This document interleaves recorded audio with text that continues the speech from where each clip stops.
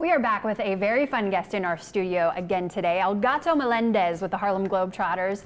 Actually, that means the cat, and we were learning what it really means and how you got it. It's not because of his moves. It's not because he's quick as a cat. No, that helps. It's no, a I whole different those. story. No, I have those moves though. Don't get me. You like twisted. to tell people that that I might have be how it is. No, but I it's have different. those Believe moves. that, No. All right, so tell us a story. You, it has to do with the fact that you were going to the basketball court, but in the end, it had nothing to do with basketball. Well, the basketball court it was really far from my house. It was about two miles, and I asked my dad if he knows about a shortcut. He said, "Go through the sugarcane field." So I go one day with a ham sandwich in my hand through the trail, drop the ham. Next thing I know, it's four cats following. so I get all the way out to the end. I play basketball. I'm done. I turn around, and the cats are there waiting for me. There you so are. it happens for like two, three days, and my friends start calling me El Gato, and Globetrotters find out. And there you are, the cat leader of the team then. But we, I mean, Cat we can whisperer. pretend that it has to do with, you know. I mean, the eyes, you know, the eyes help. You know, I can't. I'm very athletic, so that It works. Not to lot. brag or anything. Yeah. Hey, y'all making fun because this is about the cat. So yeah, you got to step it up.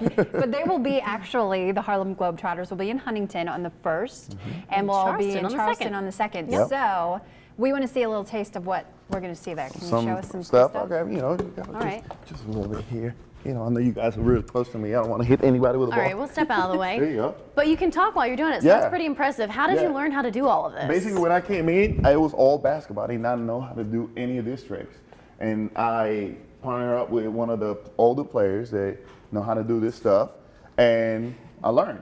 So, first time I did it, I, I don't recommend kids don't do this around a fish tank. Please don't do it. A I fish did tank? It. I did it one time, and Oh, it no. was a disaster.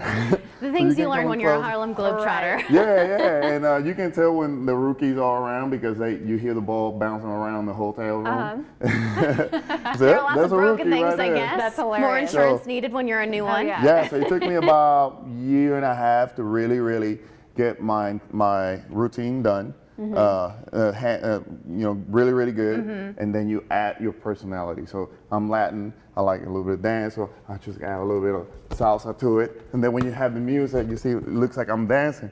Yeah. And everybody has the same uh, Yeah. personality into the tricks. How do you guys awesome. coordinate together? All of your personalities come together and you have a really good show. Uh, we're like family, you know. It, it- they, the recruiters, uh, do a great job picking up good guys.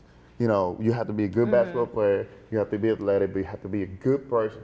And normally, you know, we, we pick great teammates, and you know, we work well together. So it's, it's hard to explain, you know. Yeah. 'Cause, I mean, we told strangers go in one day, here you go, guys, play. And we're like, okay, how you doing? My name is. uh, Come on, guys. I And then- imagine you have a lot of pranksters, some jokesters on the team. You never know when a Yes. ball's going to come right at you. Yes, well, we're not gonna throw the ball at somebody, but you know, you always have to be alert because it's it's like we call the throw you on the fire. Yeah. And it's up to you to pick it up and and do the best you can, and eventually, you know, you create your own style. That sounds like a job that anybody would love to have, Yeah. working like that. Does this always start as a love of basketball first, or are you all pretty good at playing the game too?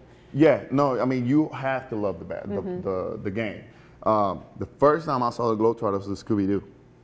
When I was six years old, That's awesome. so you know I'm like, hey, who's those guys with Scooby and Shaggy? And then and then you start learning more about them, and you see them on, on Sunday, uh, especially in uh, Meadowlark Lemon, hitting the hook shot on Sunday on TV. Uh-huh. And I never saw them live until actually I was in the game Wow. playing for the Harlem Globetrotters. So Did you ever That's dream you were going to be part of that team someday? I'll never dream that I was gonna be part Uh-huh. but they'll always be part of my life growing up. You know, playing basketball since I was six, going into the University of North Carolina and graduating, and na- then pro, and now the Globetrotters. Wow. So e- everything's kind of tight together. Yeah, yeah. And and it's it's just a blessing. All right, Well, so you said, yeah, we want to try a few things though, and Yeah. you did say that you can go into the Harlem Globetrotters just having a little bit of basketball underneath your belt. Well, not a little bit. I yeah, I was gonna say I don't know if we You even have to count be- as having a little bit. zero? But we have But- three girls that are actually right now on the Wow. team. Yes. That's awesome. Yeah, right? so I mean, it doesn't mean that you cannot make it, but it's a, it takes a lot of time, a lot Yeah. of work, and a lot of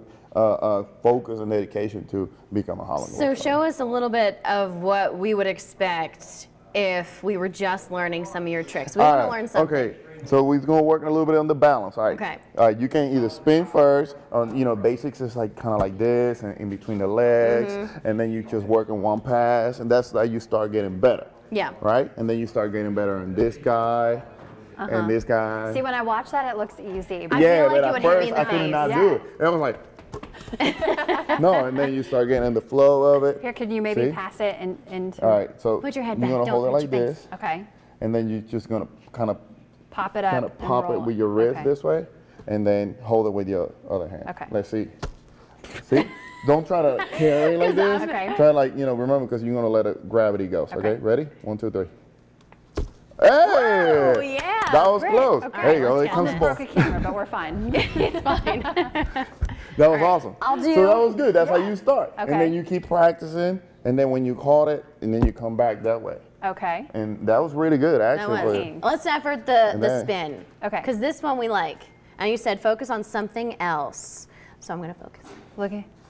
There you Focus go. on There the, you go. on the, you looking at the ball. Oh, not. Oh, look at oh. that.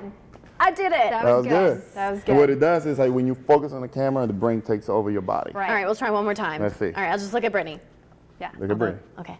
Eye contact. All right. Brittany, eye contact. Brittany, do You not can do do. this. You can keep this. All right, you really need to have your fingers stable. Mm-hmm. There we go. That was was that that, was good? good. that was really good. Better than the first Now time. let's see how long you can do it. Okay. want I mean, you could do it forever, so let's now? just show us all the great tricks that you love without breaking something, of course. Yeah, we can give you more space too if you want We should have been Well, How long know- was that? like, and guys, it's guys that spend a lot longer than me. Um, we had guys that had world, world uh, Guinness records, spinning on the on the nose and on the head. Oh my goodness. Yeah, Can you spin it on your nose? no. On your head? Oh, break In my, my head, nose. it's a certain type of head shape that helps on that. Oh, okay. Yeah, so it there doesn't work with me, there's a science to it. Especially, sometimes. especially when uh, you have hair. Uh-huh. In my case, doesn't work. But some of the guys, you know, like uh, we got Scooter, Mm-hmm. that he is actually looks like Curly Neal, one of the old guys, Uh-huh.